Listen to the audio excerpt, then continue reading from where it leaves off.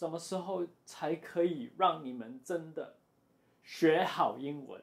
我教了英文三年了，都还没有成功。教了你们加 s，你们又常常忘记。Who cares？要加 s。Who cares? Yes, thank you. Anyways，我打算不再教你们英文了，我教你们怎么装好了。So hey guys, what's up everybody？这个是哥伦布发音 cool。So 今天呢，我要教你如何假装你的英文很好。刷入照。And we're starting right now. Huh. So 其实我觉得假装英文好最好的方法，其实是学会一个母语者的口音，比如说 an American accent or a British accent。 但是这一集我们不是学发音，我有另外一个技巧给你。By the way，如果你真的想学会一个美式发音呢，you know what to do, right? Yeah，but 今天呢，我主要想教你的技巧呢，就是填补词 filler words。什么是 filler words，right? Well, let me give you an example. 大家看看这一句话，这一段话。So, I want to tell you something. And uh, what I want to say is that English is like totally fun. You know what I'm saying? 大家看到这句话吗？No，我主要想表达的就是 English is fun。但是你看到为什么那么多字？Yeah，where did all those words come from？Right？这是因为其他都是填补词 filler words。filler words 呢，其实就是一种没有内涵的话，一些一些 bullshit， 就有点像你说中文的时候呢，你会说什么那个那个那个，然后然后然后。学会这些 fillers 之后呢，你的对话会更自然，更像一个母语者。所以接下来呢，我们来看看你需要用到 fillers 的六个情况。OK，let's、go。所以第一个功能呢，就是 filler words 可以让你在思考的时候可以拖延时间。这个应该是 filler words 原本最基本的用法吧。OK，for、okay, example，and basically like you know，还有一个最普遍的就是。嗯，其实也是，这个跟中文一样了，都是嗯或者呃。广东话的话就是，诶。接下来呢，我想你们看一看 Elon Musk 说话的时候用的填补词。 Um, and, and generally people, the, um, you know, if they're at a party or talking to friends or whatever, um, you- uh, and um, so anyone like buys our car, they just bought it because they, they like the car, and you know it's like it's genuine.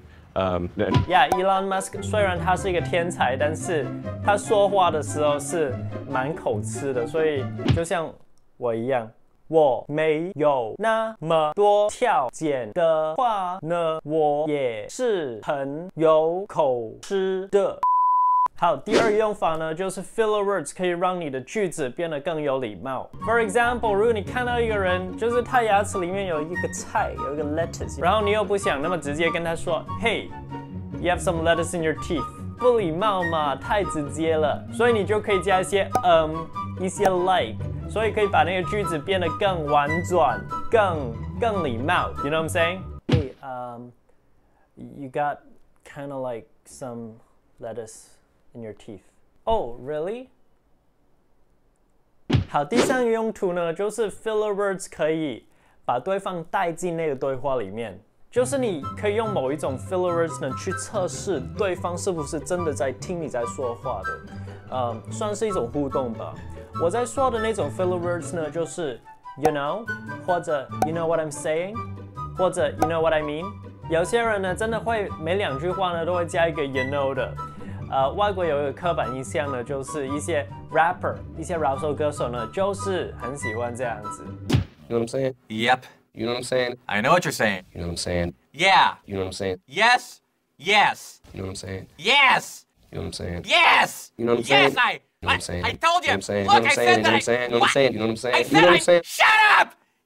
OK, number four 就是 filler words 呢，可以把一个句子软化。 我这里主要在说的字呢，就是什么 basically、kind of、a little，这些呢都是一些如果你可能说话的时候没有那么大的自信心，或者可能你那句话没有很想说的很肯定，或者如果你纯粹想谦虚一点，then you can use those words. So, for example，如果有人问你，right，你小时候很乖吗？你可能会这样回答，，Yeah, I was, yeah, I was kind of a bit of a good kid, yeah. 第五个呢，就是某一些 filler words 呢是可以抓住你的观众的注意力的。这些字呢是什么？Now，或者 K，或者 All right，或者 So，都是加在一句话的开头的。For example, All right, let's learn some English. Now, what should we learn today? K, I think we can start. 你会发现呢，其实我非常喜欢用这些词的，甚至呢，我有时候在后置影片的时候呢，我会发现真的太多了，然后会砍到一些。后来呢，我有在想，我为什么会用这些填补词？为什么我每次说话呢，每一句话呢，前面都是加个 OK, alright, so，然后我发现了，真的是用来先抓住你的注意力，然后你就哦抬头你想说什么，然后我又继续说这句话，所以这个是一种。呃，对话的一个技巧了。你也可以试试看，在一个句子的开头用一些这些的字呢，真的可以让你变得很外国式的 style 的。OK，All right，let's go to the next one。OK，Number six 呢，就是一些 filler words 呢，可以让你的说话方式呢更有个性。我主要在说一些什么 literally 或者 totally 或者 like 这些的。如果用对呢，它们可以使你的句子更有个性、更有味道、更有 feel。You know what I'm saying? Is English fun? Yeah, English is like totally fun. It's like literally the most fun thing ever. 但是这些呢，你要小心不要用的太 over，不然呢，你会显得好像一些高中的加州少女。 Can you tell me what one plus one is? Okay, I know this one. It's like totally, basically, like totally, basically, literally. OK，就是说了一堆 like，说了一堆 basically，但是就没有说真没有真的说什么，right？But basically, guys, like that's all I want to say for today. You know what I'm saying? So let's totally dance. Alright guys, we are finished. 下个礼拜就是九月十号了，很多人都会开学，所以我下个礼拜呢会教你在教室里面必须会的六句英文。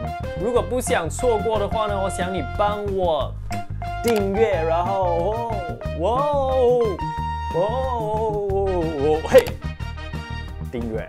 我每礼拜一的九点零九分呢，都会有固定的英文内容，发音酷。然后礼拜四呢，都会不定时有一些废片或者原创歌曲的。But thanks for watching, guys. That's it for this video, and I'll see you on Monday.